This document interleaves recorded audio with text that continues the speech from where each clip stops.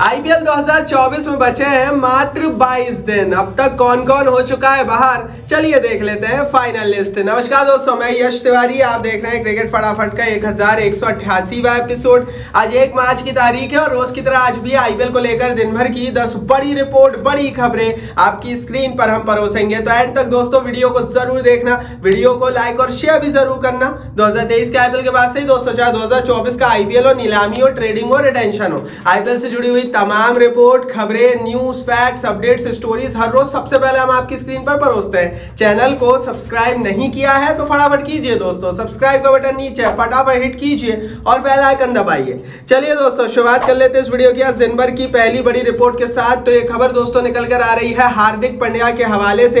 हार्दिक पंड्या ने दोस्तों मुंबई इंडियंस की कप्तानी को लेकर एक बहुत बड़ी बात और एक बहुत बड़ा बयान दे दिया है। हार्दिक पांड्या ने कहा है, मैं कभी मीडिया में कमेंट करता नहीं नहीं हूँ, ना मेरे को फ़र्क पड़ता है। दरअसल दोस्तों, जब से हार्दिक पांड्या बंबई के कप्तान बनाए गए हैं, तब से ही मुंबई इंडियंस के फैंस खुश नहीं है और लगातार हार्दिक पांड्या के खिलाफ एमआई के जो फैंस है, वो सोशल मीडिया पर लिख रहे हैं। अब इस बारे में जब इनसे कुछ पूछा गया तो इन्होंने कह दिया कि भैया, मैं तो ना किसी का कमेंट करता हूँ, ना देखता हूँ, ना मुझे फ़र्क पड़ता है। तो दिखती बात है भैया कि बंदे को कोई फ़र्क भी नहीं पड़ता। मतलब सबसे पहले तो मैं गुंडाई करूँगा उसके बाद, जब मैं दुनिया के one of the best captain में से रोहित शर्मा को, जिसने पाँच बार खिताब जीता है, उसको मैं हटवा दूँगा और खुद कप्तान बन जाऊँगा। तो लोग बोलेंगे तो लोगों की बात से मुझे फ़र्क भी नहीं पड़ता। मतलब वो लोग जिसके कारण हार्दिक पांड्या है। आज अगर फैंस में लोग फैंस ना जाएँ, देखने ना जाएँ टीवी पर ना देखें तो क्रिकेट कुछ नहीं है। दूसरे खेल भी हैं हिंदुस्तान में जिनको लोग नहीं देखते और उन खेल में कुछ भी नहीं रखा है, कोई पैसा नहीं है। आज हार्दिक पांड्या जो कुछ भी है, वो फैंस के कारण है, लेकिन उन फैंस को ही ना वो कभी देखता है ना उनके कमेंट पढ़ता, ना उसको कोई फ़र्क पड़ता है। तो अब आप खुद ही भाई बात कर लो, मेरे को तो अब क्या बोलूँ क्या भाई मैं तो आगे दूसरी बड़ी रिपोर्ट की यहाँ से बात करते हैं। हार्दिक पांड्या के भाई कृणाल पांड्या जो लखनऊ सुपर जाइंट्स की टीम में है, उन्हें वाइस कप्तानी से ड्रॉप कर दिया गया है। लखनऊ सुपर जाइंट्स ने यह फैसला तब लिया है, जब के राहुल इस समय उपलब्ध नहीं है और अपनी जाँच कराने के लिए इस समय लंदन गए हुए हैं। आपको बता दूँ कि लखनऊ सुपर जाइंट्स ने पिछले बार भी के राहुल की एब्सेंस में कृणाल पंड्या को कप्तानी दी थी। लेकिन इस बार लखनऊ ने ऑलरेडी प्लानिंग कर ली है। अगर किसी भी कारण से के राहुल अपसेंट रहते हैं आईपीएल 2024 में उपलब्ध नहीं रह पाते। इस समय इंजर्ड है, लंदन गए हुए हैं अपनी क्वार्टर सेफ़ इंजरी का इलाज कराने के लिए। तो उनके स्थान पर निकोलस पूरन कप्तानी करेंगे। निकोलस पूरन को वाइस कैप्टन बना दिया गया है। तो लखनऊ वालों ने ऑलरेडी व्यवस्था कर ली है अपने कप्तानी विकल्प की। केएल की जगह निकोलस पूरन विकल्प रहेंगे। कृणाल पंड्या विकल्प नहीं रहेंगे। ऐसा क्यों किया गया, ये तो आप बताओ कमेंट बॉक्स में। बढ़ते हैं, तीसरी बड़ी रिपोर्ट की बात कर लेते हैं। तो जैसा कि मैंने वीडियो की शुरुआत में कहा था, अब तक कौन कौन बाहर हुआ है, उनकी लिस्ट में आपको अब बता देता हूँ, मात्र 22 दिन बचे हैं। तो गुजरात टाइटंस के मोहम्मद शमी बाहर हो चुके हैं फाइनली ऑफिशियली कंफर्म हो चुका है मोहम्मद शमी के हवाले से। रिसेंटली उनकी सर्जरी हुई है, लेकिन इसका मतलब ये नहीं है कि वो आईपीएल में वापसी करेंगे।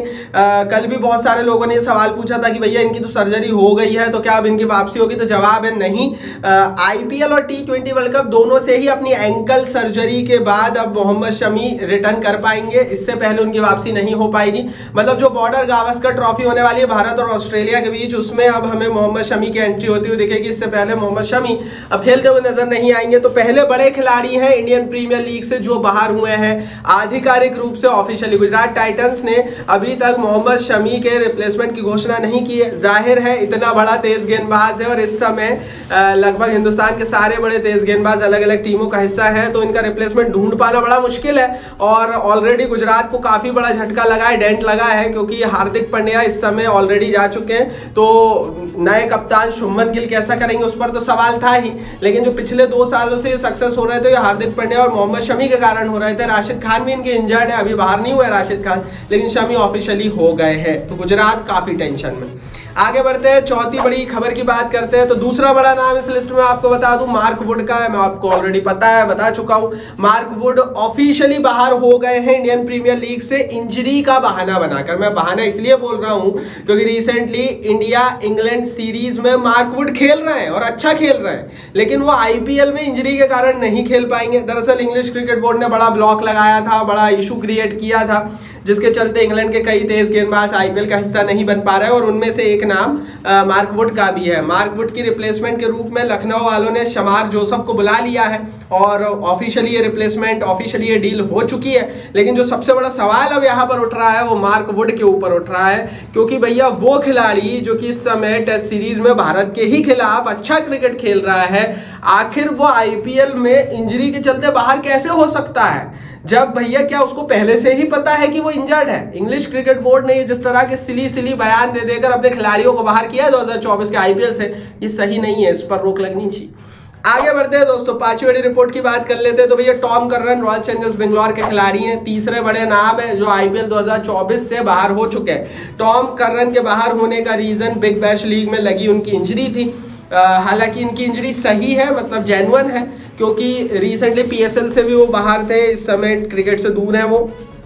इनकी भी सर्जरी होने वाली है तो आईपीएल का हिस्सा वो नहीं होंगे। आरसीबी के लिए ये बड़ा डेंट है। बड़ा डेंट रॉयल चैलेंजर्स बेंगलोर के लिए ये इसलिए है क्योंकि रॉयल चैलेंजर्स बेंगलोर के पास तेज गेंदबाज के रूप में स्पेशली विदेशी तेज गेंदबाज के रूप में जो सबसे बड़ा विकल्प है वो अलजारी जोसफ का है। और अगर जोसफ फ्लॉप होते हैं देन इनके जो दूसरे विकल्प थे, वो टॉम कर्रन ही थे लॉकी फर्ग्यूशन ही थे। अब टॉम कर्रन तो चले गए हैं। अब इनकी रिप्लेसमेंट कौन होगा, ये तो हमें समय बताएगा। क्या हेजलवुड आने वाले बताओ आप कमेंट बॉक्स में।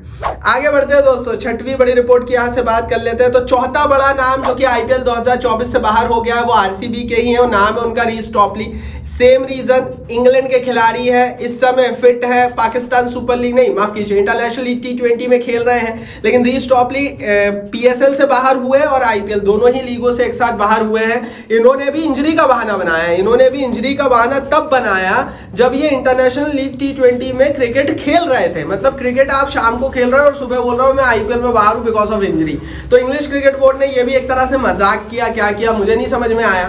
बट ये जो झटका लगा है रीस टॉपली का, ये आरसीबी के लिए डबल अटैक है. डबल अटैक इसलिए क्योंकि टॉम कुर्रन ऑलरेडी बाहर है. रीस टॉपली भी बाहर हो गए. अब जोसफ अगर नहीं चले तो फिर इनकी रिप्लेसमेंट होंगे लॉकी फर्ग्यूशन और फर्ग्यूशन का आईपीएल में रिकॉर्ड कभी भी बेहतर नहीं रहा है. तो कुल मिलाकर एक बात की दो बात और दो बात की सौ बात यही है कि आरसीबी बड़ी टेंशन में आगे बढ़ते हैं दोस्तों, सातवीं बड़ी खबर की बात करते हैं तो पांचवा बड़ा नाम जो कि हुआ है बाहर, वो है मुस्तफिजुर रहमान। मुस्तफिजुर रहमान आईपीएल 2024 से बाहर हो गए हैं, हेड इंजरी के चलते बिग माफ़ कीजिए बीपीएल जो होता है, बांग्लादेश प्रीमियर लीग होती है बीपीएल उसमें इनको हेड इंजरी हुई थी। और ये बाउंड्री पर थे, इनको सिर में चोट लगी थी और उसके बाद से ये बाहर है और रिपोर्टेडली वो आईपीएल के लिए नहीं आ पाएँगे क्योंकि इन्हें हॉस्पिटलाइज्ड किया गया था। चेन्नई सुपर किंग्स की टीम ने आई थिंक दो करोड़ के आसपास दिए थे इस साल इन्हें आईपीएल खेलने के लिए। चेन्नई की टीम इकलौती ऐसी टीम थी जो इनका बेस्ट ला सकती थी। क्यों? क्योंकि धोनी को हमने कप्तानी में अच्छा करते हुए और खिलाड़ियों के साथ न्याय करते हुए देखा है। इससे पहले 2015-16 के दौर में मुस्तफिजुर रहमान खूब चले थे और उसके बाद गायब हो गए थे आईपीएल में। लेकिन जो सही सही समय पर बॉलिंग कराना, सही समय गेंद देना और खिलाड़ी का सही इस्तेमाल करना, वो चेन्नई की टीम जानती है and that's why Mustafizur Rahman काफ़ी हैंडी साबित हो सकते थे। चेन्नई को विदेशी तेज गेंदबाजी में थोड़ी सी लैकिंग है भी एंड दैट्स वाई मुस्तफिजुर का बाहर होना चेन्नई के लिए एक बड़ा झटका हो सकता है।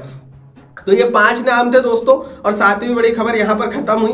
पाँच नाम अभी की स्थिति में ऐसे जो ऑफिशियली बाहर हो चुके हैं, अब देखते हैं आगे क्या होता है। आगे जो भी खिलाड़ी बाहर होगा और इन पाँचों की जो भी रिप्लेसमेंट आएगी, वो हम टेलीग्राम पर यूट्यूब से भी पहले डाल देंगे, क्योंकि आईपीएल 2024 का 24 घंटे का कवरेज चल रहा है हमारे टेलीग्राम पेज पर। लिंक डिस्क्रिप्शन बॉक्स में पैंसठ हज़ार लोग फ्री में परिवार का हिस्सा बन चुके हैं। आप भी ज्वाइन कीजिए मिस मत कीजिए, मज़ा आ जाएगा। चलिए दोस्तों, आगे बढ़ते हैं। आठवीं बड़ी रिपोर्ट की, आठवीं बड़ी खबर की यहाँ से बात करते हैं तो ये रिपोर्ट आ रही है भैया रिलायंस के हवाले से। रिलायंस जियो और डिज्नी हॉटस्टार का मर्जर हो चुका है। ये मर्जर ऑफिशियली अनाउंस कर दिया गया है। नीता अंबानी को इस पूरे ग्रुप का हेड बना दिया गया है। मतलब कुल मिलाकर फिर वही बात है, पूरी कहानी का सार, पूरी कहानी की समरी ये है कि अब चाहे टीवी पर आए, चाहे फ़ोन पर आए आईपीएल आएगा अंबानी जी के नेटवर्क पर, क्योंकि पहले क्या था कि टीवी के जो राइट्स थे वो डिज्नी के पास थे। अब डिज्नी हो गया है जियो वालों का तो टीवी के राइट्स भी जियो के ही पास है एक प्रकार से। रिपोर्टेडली टीवी चैनल्स के नाम भी अब आपको चेंज होते हुए दिखेंगे स्टार स्पोर्ट्स का नाम भी चेंज हो सकता है और स्टार स्पोर्ट्स की जगह जियो स्पोर्ट्स हो सकता है कुछ भी हो सकता है। लगभग सत्तर हज़ार करोड़ रुपए की ये टोटल डील बनी है मतलब अब ये जो टोटल कंपनी का वैल्यूएशन हो गया है रिलायंस प्लस डिजनी का आ, ये जो टोटल टीवी पर स्पोर्ट्स ब्रॉडकास्टिंग का जो इनका जो वैल्यूएशन है वो सत्तर हज़ार करोड़ का हो चुका है। पाकिस्तान की जीडीपी से भी ज़्यादा। आगे बढ़ते हैं दोस्तों। नौवीं बड़ी रिपोर्ट की यहाँ से बात कर लेते हैं तो ये खबर दोस्तों जियो के हवाले से आ रही है। अब जियो ने एक और क्लेम कर दिया है। अब खैर क्लेम ही करेगा जियो क्योंकि जियो अकेला बचा है जो कि इस समय टीवी पर ब्रॉडकास्टिंग कर रहा है स्पोर्ट्स की क्रिकेट की इन, इन इंडिया चाहे वो फ़ोन हो टीवी हो हर जगह जियो ही है। अब जो जियो की मोनोपली हो गई है जियो ने क्लेम किया है कि वो इस बार लगभग पाँच हज़ार एडवर्टाइजर्स के साथ पिछले साल की तुलना में इस बार पाँच गुना ज़्यादा प्रॉफिट और कमाई करने वाला है। तो कैश का हुआ है अब जियो के पास। आईपीएल से अब पूरा पैसा कमाएगा जियो। लाइक बनता है जियो। के लिए रिलायंस के लिए, इनके बिज़नेस दिमाग के लिए। आगे बढ़ते हैं, दसवीं बड़ी रिपोर्ट की दोस्तों बात करते हैं तो ये रिपोर्ट मनोज तिवारी के हवाले से निकल कर आ रही है। पूर्व क्रिकेटर मनोज तिवारी ने रिसेंटली जो बीसीसीआई का कॉन्ट्रैक्ट वाला इशू हुआ था श्रेयस अय्यर और ईशान किशन को बाहर किया सेंट्रल कॉन्ट्रैक्ट में से, उस पर एक बयान दे दिया है। उन्होंने कहा है IPL talked happen on Ranji field players faked injury IPL के कारण प्लेयर्स ने कई बार जो है इंजरी फेक्ड की है इन रणजी क्रिकेट प्लेयर रणजी से दूर रहते हैं, चोट का बहाना बनाकर मनोज तिवारी ने खुलासा किया. मनोज तिवारी पूर्व खिलाड़ी हैं और ये बंगाल से खेलते हैं और काफ़ी बड़ा नाम रहे हैं. के की टीम का भी हिस्सा था, इन इंडियन प्रीमियर लीग कह रहे हैं. कि फ़ील्ड पर रणजी के दौरान भी आईपीएल की ही बातें होती थी और रणजी खेलने ही खिलाड़ी इसलिए आते थे कि आईपीएल में सिलेक्शन हो जाए और कई प्लेयर्स फेक इंजरी करते थे। इन्होंने इशारा किया श्रेयास अय्यर, ईशान किशन के ऊपर। श्रेयास अय्यर बैक स्पेसम का बहाना बनाकर बाहर बैठे हुए थे टेस्ट सीरीज़ से तैयारी कर रहे थे आईपीएल की। Same goes to Ishan Kishan, बाहर बैठे हुए थे, रणजी नहीं खेल रहे थे और हार्दिक पंड्या के साथ बड़ौदा में प्रैक्टिस और ट्रेनिंग कर रहे थे। और मैं तो ये भी बोलूँगा कि हार्दिक पंड्या ने भी फेक किया।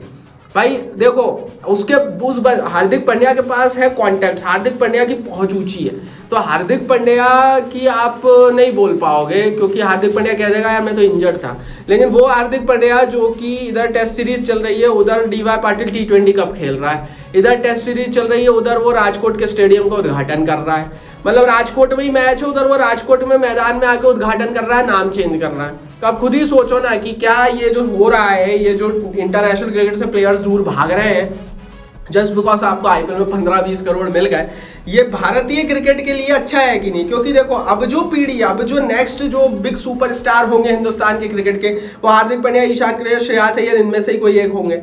अभी जो सुपरस्टार है, वो तो अपना समय देते हैं हिंदुस्तान के क्रिकेट को। जैसे विराट हो गए, रोहित हो गए। पहले धोनी ने भी अपना पूरा समय इंटरनेशनल क्रिकेट को दिया। लेकिन अगर हार्दिक वाली जो गैंग है, अगर वो ऐसा करेगी तो आगे जाकर तो यही सुपरस्टार होने वाले हैं। आगे क्या होगा भाई? क्या इंटरनेशनल क्रिकेट को ये छोड़ ही देंगे क्या?